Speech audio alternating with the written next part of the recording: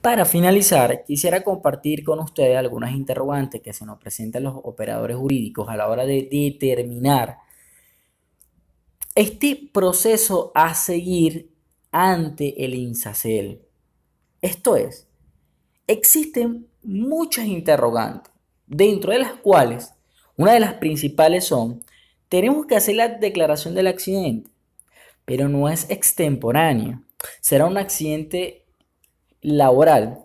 Mayormente cuando ocurre un accidente en cualquier entidad de trabajo, viene la pregunta del empleador. ¿Tenemos que hacer la declaración? Recuerden que tenemos una declaración inmediata, que es dentro de los 60 minutos siguientes. Y tenemos una declaración formal que tenemos que hacer dentro de las 24 horas ante el INSACEL. Y viene la pregunta, bueno, ¿qué sucede? Porque debo recabar este tipo de información antes de decir, bueno, ¿qué sucede si me excedo del tiempo establecido por la ley? Y otra cosa, debo declararlo, será un accidente laboral, debo compartir lo establecido en el artículo 18 en cuanto a la competencia del Instituto Nacional de Prevención, Salud y Seguridad Laborales, INSACEL. El Instituto Nacional de Prevención, Salud y Seguridad Laborales tendrá las siguientes competencias calificar el origen ocupacional de la enfermedad o del accidente. Artículo 76. El Instituto Nacional de Prevención, Salud y Seguridad Laborales, previa investigación mediante informe, calificará el origen del accidente o de la enfermedad ocupacional. Importante establecer lo siguiente. El único órgano facultado por la ley que tiene la competencia para determinar, para certificar si estamos en presencia de un accidente de tipo ocupacional o no, es el INSACEL. No le es dado a las entidades de trabajo, no le es dado al empleador hacer un análisis para determinar o no si nos encontramos en presencia de un accidente laboral. Podemos, debemos hacer una investigación del accidente, si tiene sus servicios de, seguridad y salud en el trabajo, los delegados de prevención, el comité de seguridad. O sea, debemos hacer una investigación, pero no a los efectos de calificar el accidente como de tipo ocupacional o no. Podemos tener una presunción de que estamos en presencia de un accidente de, tipo ocupacional, pero es el INSACEL el único órgano facultado que tiene la competencia para certificar el origen ocupacional mediante providencia administrativa, mediante un acto administrativo de efectos particulares. Y fíjense que voy un poco más allá, no es el INSACEL quien determina que nos encontramos en presencia de un accidente de tipo ocupacional. El INSACEL certifica porque tiene médicos especializados, tiene toda una comisión de especialistas para investigar, pero es el juez en última instancia quien decidirá si el hecho acontecido al trabajador es un accidente de tipo ocupacional o no y la responsabilidad ulterior, objetiva y subjetiva que se deriva del mismo. Son de carácter vinculante las certificaciones que dicte el INSACEL. Ya establecimos que el INSACEL es el órgano competente para certificar o no el origen ocupacional del mismo aún calificando el INSACEL el accidente ocurrido de tipo ocupacional.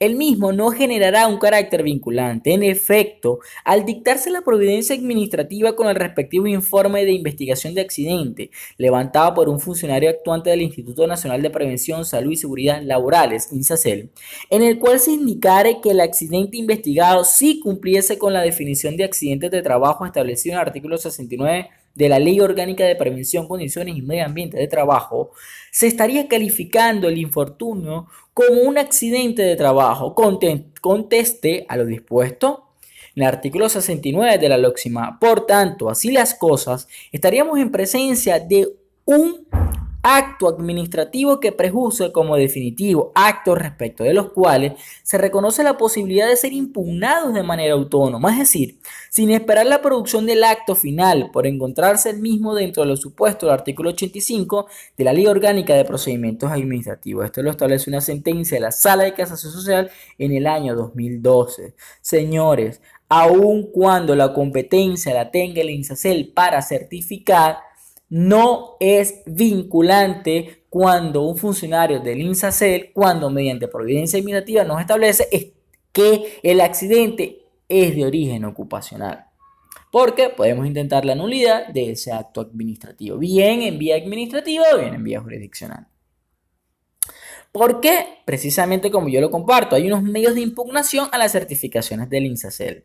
De encontrarnos afectados por un acto administrativo dictado por el INSACEL que califica un accidente ocurrido de tipo ocupacional, podemos intentar los siguientes recursos administrativos. Y esto bien lo sabemos. Podemos intentar recursos de reconsideración, recursos jerárquicos y el recurso de revisión. Ahora bien, como decía mi profesor Chavero, o sea, Rafael Chavero, vas a intentar un recurso de reconsideración ante el propio funcionario quien dictó el acto, eh, está cuesta arriba creer que, que, haya, que haya una autotutela administrativa, que eso pudiese suceder, que el, que el propio órgano quien dictó el acto administrativo, pues declare la nulidad absoluta. Es, es, un poco cuesta arriba, pero sí se ha logrado en muchos casos. Y continuemos, de encontrarnos afectados por un acto administrativo dictado por el INSACEL que califica un accidente ocurrido de tipo ocupacional, podemos intentar los siguientes recursos. Ah, bueno, esto es lo que estaba, lo que estábamos leyendo, ¿no? Pero fíjense, ejercicio de sus funciones al calificar y certificar un accidente de tipo ocupacional, se observa que dicha certificación es el resultado de las evaluaciones y comprobaciones efectuadas por el referido instituto, la cual constituye una manifestación de voluntad definitiva y que dicho acto afecta a la esfera jurídica del trabajador, sus familiares, así como del empleador o patrono, razón por lo cual la propia ley estableció que contra dicha certificación las personas afectadas o interesadas podrían ejercer los recursos administrativos o judiciales que consideren pertinentes. Ya vimos cuáles son los recursos administrativos. Ahora, el recurso judicial que tenemos, siendo esto así, además de recurrir en vía administrativa, lo podemos hacer en vía jurisdiccional, como lo he comentado, con el recurso contencioso administrativo de nulidad contra las calificaciones que hiciera el INSACEL acerca de un accidente laboral, siendo competentes para conocer de la nulidad de los referidos actos hubo una lucha en su tiempo, si eran los tribunales contenciosos administrativos o eran los juzgados superiores laborales, y quedó establecido mediante sentencia que, eran los, que son los juzgados superiores laborales los competentes para conocer este tipo de nulidad de estos actos administrativos emanados del INSACEL.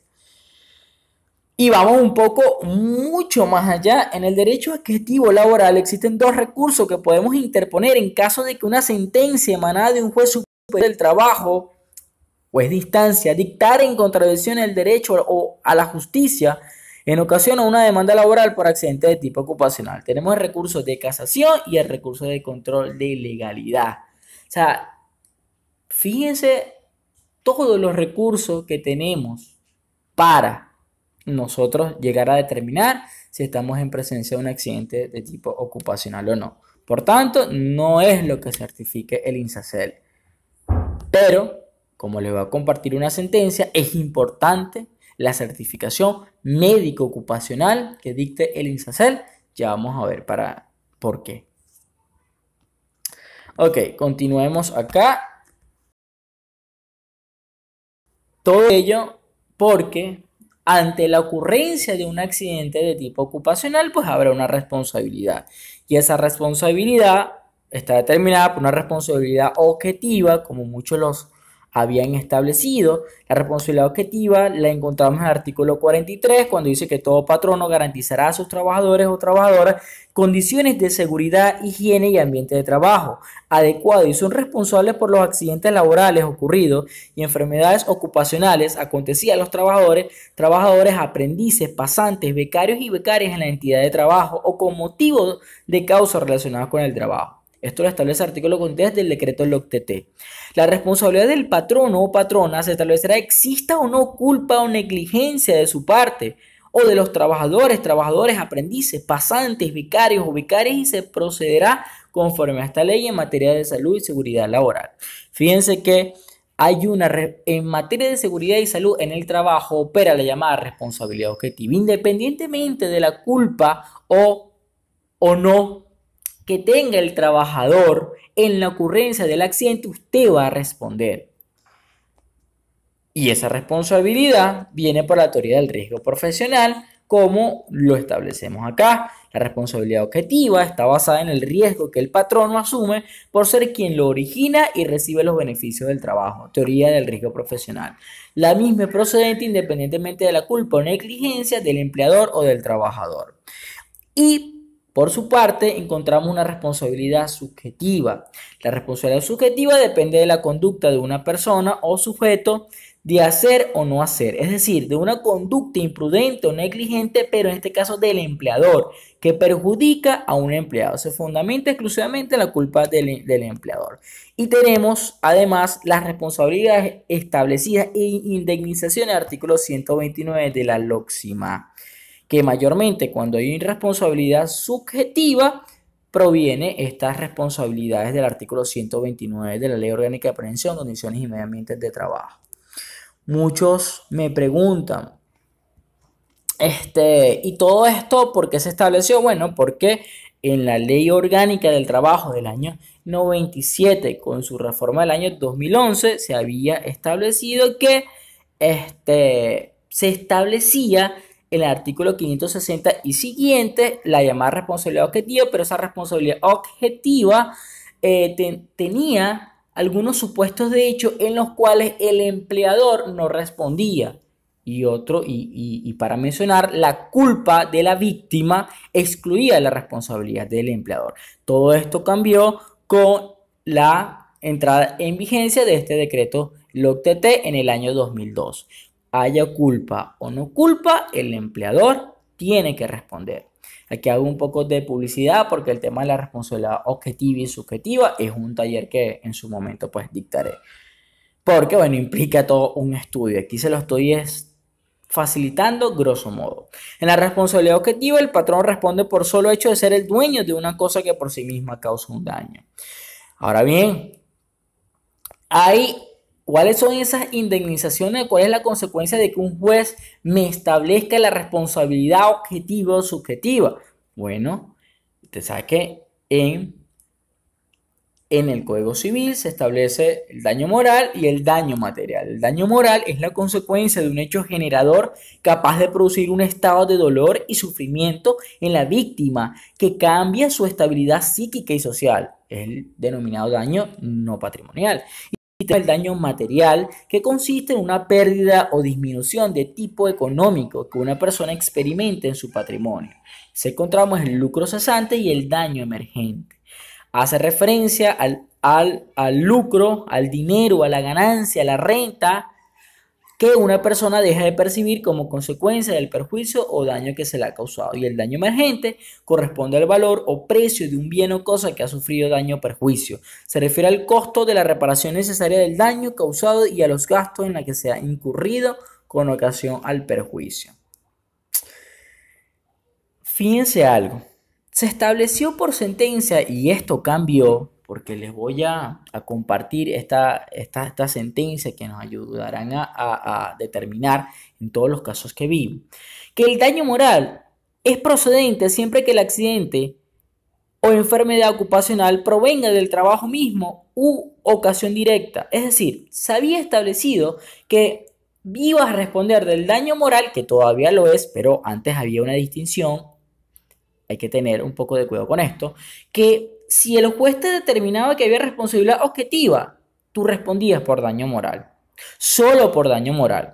Y la llamada responsabilidad subjetiva, y para responder por lucro cesante y el daño emergente, tendría que haber responsabilidad subjetiva. Y palabras más, palabras menos, en la responsabilidad objetiva, independientemente de la culpa o, no del, de la víctima, tú vas a responder. Siempre respondías por daño moral. Pero para que hubiese responsabilidad del patrono, bueno, eh, y ojo con esto, requería para su procedencia la constatación del hecho ilícito patronal, la cual debe poseer tres elementos, daño, la culpa y la relación de causalidad. Pero actualmente las sentencias han cambiado, la sala cambió de criterio, estableciendo que en la llamada a responder tanto del daño moral como del lucro cesante y daño emergente, mientras que por responsabilidad subjetiva vas a responder por la indemnización establecidas en la LOXIMA. De eso pues estaremos hablando y compartiendo en la sentencia que, que, que les facilitaré al respecto. Saludos.